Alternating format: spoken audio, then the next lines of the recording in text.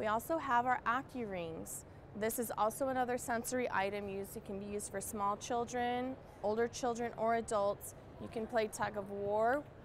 Um, the therapist can work with the child on different tactile issues um, with this. All of our products are made of heavy duty vinyl and they exceed the US safety standards, so there's never a problem. They're latex free and children love them. And you can also play ring toss as well. These are great with small children, older children, adults, because not only can be used as a toy, it can be used as a tactile item with a therapist and or yourself at home with your child.